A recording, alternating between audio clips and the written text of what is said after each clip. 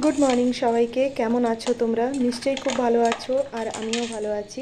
আজকে হচ্ছে বৃহস্পতিবার, আর সকালবেলায় এখন ছেলের টিফিন গোছানো হচ্ছে মানে স্কুলে যাবে বলে ও তো আজকে ওর টিফিনে দিয়েছি পালক পানির আর তার সাথে লুচি। তো পালক পানির কালকে বানিয়েছিলাম, তো ও বলল ওটাই নিয়ে যাবে। বললাম, ঠিক আছে, নিয়ে যা। তো খেতে ভীষণ ভালোবাসে, তো সেই জন্য একটু বেশি করে দিয়ে দিয়েছি, আর ওর বন্ধুরাও ভীষণ খেতে ভালোবাসে। তো সেই জন্য আমি একটু বেশি করে দিয়ে দিয়েছি পালক পানির, যাতে ওরা সবাই মিলে খেতে পারে। তো এখানে টিফিনটা তো দিয়ে দিলাম। আর এবার জলের বোতল রেডি করে দেবো। তো জলের বোতলে একটুখানি ঠান্ডা জল আর গরম জল দুটো মিশিয়ে আমি দিই। কারণ জলটা তো খুব ঠান্ডা এখন, সেই হিসাবেই আর কি।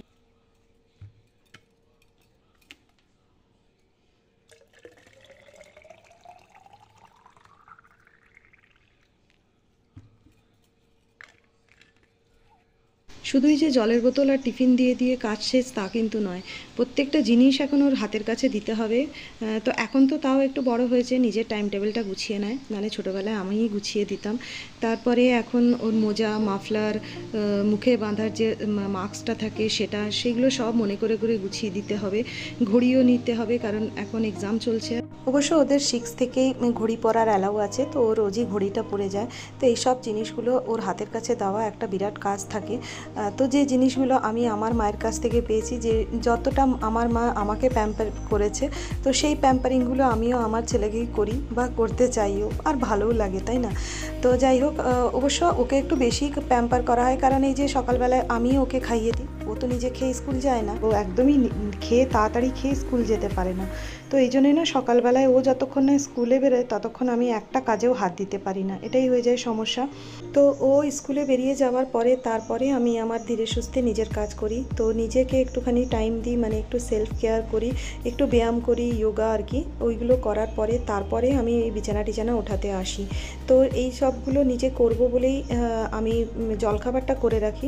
না হলে ঘরের কাজই যদি সারাদিন ধরে করতে থাকি, তাহলে আর নিজের দিকে একটুও খেয়াল রাখা হয় না। তো ঘরে সবার সুস্থতার খেয়াল রাখার আগে নিজের নিজেকেও তো একটু সুস্থ রাখতে হবে। না হলে শীতকালে এমনিতেই একটু ল্যাথার্জিও লাগে বা শরীরে এনার্জি পাওয়া যায় না রোজ রোজ সকালবেলায় ঘুম থেকে উঠে বা হাত পা, গা হাত পা ব্যথা থাকে, তো এইসব প্রবলেমগুলো থাকে। তো এই জন্যে আমি একটুখানি নিজে সেলফ কেয়ার করব বলেই আমি হাতে একটু সময় রাখি। তো এপাশে আমার সব কাজ সেরে আজকে রান্না করছি কুমড়োর ডোবা। অনেক দিন পর খাচ্ছি আবার, তো অনির্বাণ এগুলো খেতে না ভীষণ ভালোবাসে। তো আজকে রূপকে স্কুল থেকে ছেড়ে আসার সময় নিয়ে চলে এসছে। তো আমি আবার কেটে বসিয়েও দিয়েছি তাড়া- তাড়াতাড়ি করে। তো এটাতে আমি বড়ি দিয়ে রান্না করব, আলু একটু দিয়েছি, আর এখানে একটুখানি কালো জিরা আর রাঁধুনি এ দুটো একটু ভেজে নিচ্ছি, ভেজে আর গুঁড়ো করে নেব। তো মশলাটা একটু ভেজে নিলে এর স্বাদটা দুগুণ বেড়ে যায়, তো সেই জন্য আমি সবসময় এটা ভেজেই ইউজ করি। তো এখন আর শিলনোড়া ওঠাতে ইচ্ছা হলো না, তাই জন্য আমি হামানদিস্তাতেই করে নিচ্ছি।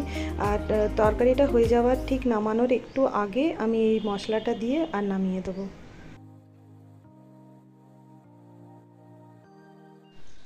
গুড আফটারনুন এভরিওয়ান, কেমন আছো তোমরা? নিশ্চয়ই খুব ভালো আছো, আর আমিও ভালো আছি। এখন বাজে সাড়ে বারোটা মতন, আর তাড়াহুড়ো করে ঘরের সব কাজ সারলাম, রান্না করেছি, চান করে দেখো পুজোও করে নিয়েছি।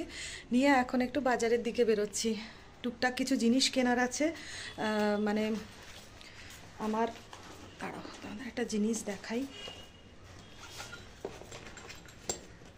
গ্যাসের বার্নারটার অবস্থা দেখো, যে ছোট, আমার তিনটে চুলোর তো তো ছোট গ্যাসটার কি অবস্থা? পুরো মাঝখান থেকে ভেঙে গেছে। আর এরকম অবস্থাতে, এই দেখো ভাঙাটা। এরকম অবস্থায় আমি আজ দু তিন মাস হলো চালা জ্বালাচ্ছি। মানে মাঝখানেরটা জ্বালাতে পারছি না, আর সাইড দুটো জ্বালিয়ে জ্বালিয়ে কোনো মতে কাজ করছি। আর পর্দাগুলো সব টেনে দিয়েছি, কারণ না, কেউ না থাকলে পায়রা চলে আসে ভেতরে। ওই জন্য পর্দা টেনে দিয়ে যাচ্ছি। আর চলো তাহলে যাই। আর আর কিছু টুকটাক জিনিস কেনার আছে। তেমন কিছুই আর নয়।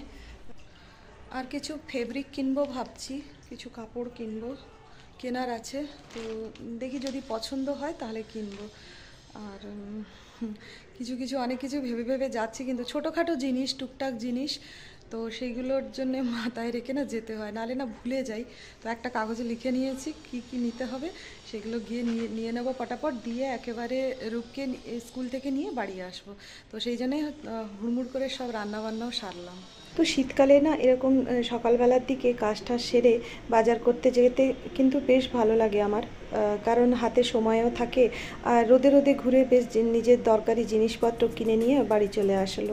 এটা কিন্তু বেশ ভালো। আর বিকেলবেলার দিকে একদমই যেতে ইচ্ছা হয় না শীতকালে, কারণ ঠান্ডাটাও প্রচণ্ড থাকে। আর তার মধ্যে এখন তো আমার ছেলের টিউশন থাকে দুটো, একটা রোজ মোটামুটি টিউশন থাকেই। তো সেই সব সেরে আর বেরোতে বেরোনো যায় না আর কি। আর আমার নিজস্ব কিছু কাজ থাকে তো সেই জন্য আর শীতকালে বিকেলের দিকে আর বেরোনোই হয় না। কিন্তু গরমের সময় আবার বিকেলের দিকেই বেরোনো হয় কারণ তখন তো সন্ধ্যাটাও বেশ বড় থাকে হাতে সময় থাকে। তো এই হচ্ছে ব্যাপার। তো এখন ঘুরে ঘুরে আমাদের নিজেদের জিনিসগুলো কিনে নিই। হ্যাঁ।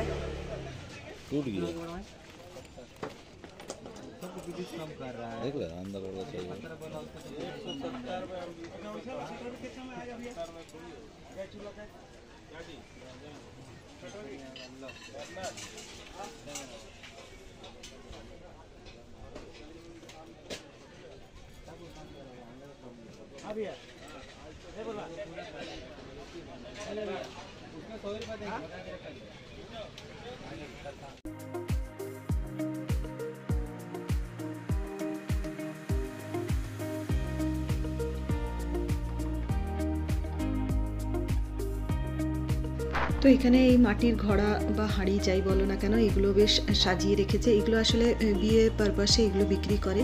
তো আমি এরকম একটা নিচ্ছিলাম ছোট দেখে। তো এটা আমি নিজে ঘরে ডেকোরেট করব বলে নিয়েছি। তো ওইগুলোই আর কি দেখছিলাম। আর ভীষণ সুন্দর লাগছিল না এগুলো দেখতে।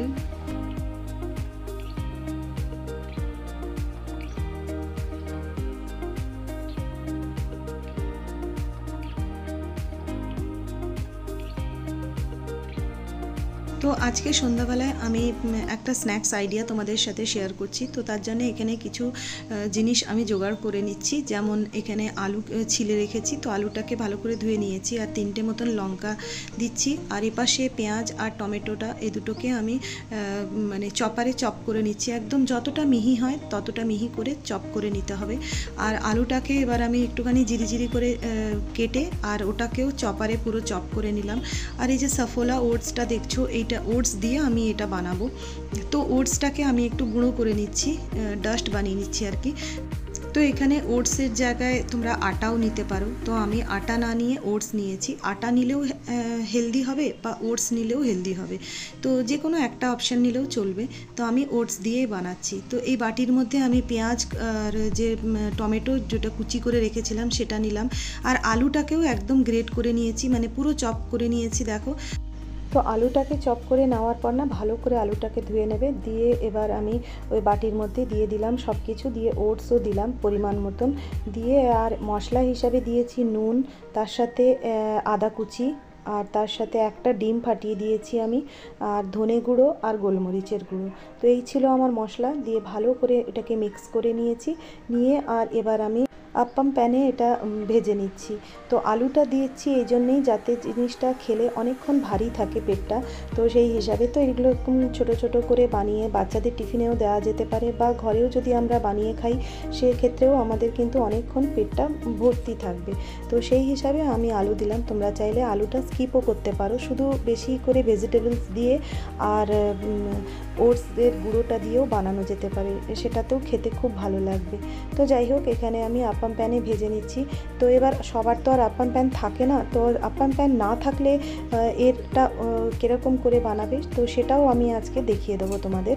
তো এখানে আমার বানানো হয়ে গেছে। আর আজকে কিন্তু আমি ধনেপাতার চাটনি রেখেছিলাম বানিয়ে আগের থেকেই। আর ধনেপাতার চাটনি দিয়ে না অসাধারণ লাগছিল খেতে। কিন্তু ধনেপাতার চাটনি না থাকলে তখন সস দিয়েই খেতে হবে। আর আলুটা দিয়েছিলাম বলে কিন্তু বেশিই ভালো লাগছিল আমার মনে হয়। ভেজিটেবলস দিয়ে তো আমরা অনেক কিছুই খাই। তো আলু এরকম গ্রেট করে দিলে কিন্তু খেতে মন্দ হয়নি। তো আমার ছেলের তো খুব ভালো লেগেছে। ও বলছিল, মা, মোমোর মতন লাগছে খেতে। তো যাই হোক, এবার অনির্বাণ খাবে। আর আমারও খুব ভালো লেগেছে খেতে। তো এবার দেখো, যদি আপ্পাম প্যান না থাকে, তাহলে তোমরা কীরকম করে এটা বানাতে পারো। ওই যে ক্যাপসিকাম থাকে, তো ক্যাপসিকামটাকে আমি মাঝখান থেকে কেটে নিয়েছি। রিং রিং শেপ করে নিয়েছি। নিয়ে ওই রিংয়ের মাঝখানে আমি ওই ব্যাটারটা দিয়ে দিয়েছি। আর পাশ থেকে একটুখানি তেল দিয়ে দিয়েছি চামচ দিয়ে। দিয়ে ঢাকা দিয়ে দিলে তাহলে কি হবে না, ক্যাপসিকামটা কিন্তু আস্তে আস্তে সেদ্ধ হয়ে যাবে। আর বেশ খেতে ভালো লাগবে। দিয়ে আস্তে করে এটাকে টার্ন করে দিলেই হয়ে যাবে। তো এরকমভাবে দেখো ঢাকা দিয়ে দিয়ে আমি করছি। আর এই যে ক্যাপসিকামগুলোকে এরকম রিং করে কেটে নিয়েছি। তো এটা দিয়েও কিন্তু খেতে অসাধারণ লাগছিল। তো এরকম নতুন ধরনের খাবার বানাতেও আমার খুব ভালো লাগে আর খাওয়াতেও ভালো লাগে। তো তোমরাও এরকমভাবে ট্রাই করে দেখতে পারো। এটা খেতে কিন্তু সত্যি খুব ভালো লাগছিল। সে সস দিয়ে খাও কি ধনে পাতার চাটনি দিয়ে খাও। তবে আমার কিন্তু পার্সোনালি ধনে পাতার চাটনি দিয়ে ভালো লেগেছে আর অনির্বাণের কিন্তু আবার সস দিয়ে ভালো লেগেছে।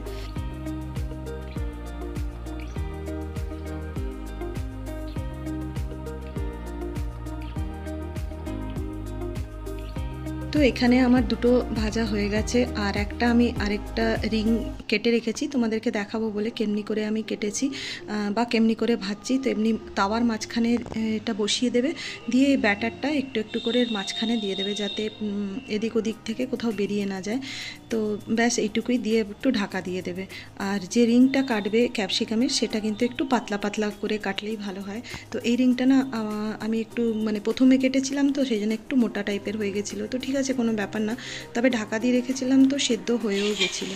তো ফাইনালি আমার এগুলো ভাজা হয়ে গেছে। তো সন্ধ্যাবেলা এরকম অন্য ধরনের একটু স্ন্যাক্স বানালাম। তো ভালোই লাগছিল খেতে, সবাই খুব এনজয় করেছি। আজকের ভিডিওটা তাহলে এটুকুই থাক। ফিরবো আবার একটা নতুন ভিডিও নিয়ে। ততক্ষণে যেন তোমরাও ভালো থেকো, সুস্থ থেকো। আজকের মতন, টাটা।